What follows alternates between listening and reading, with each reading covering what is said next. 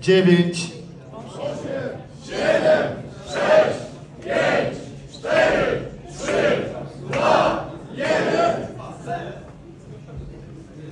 A padną najpierw wyniki w Warszawie.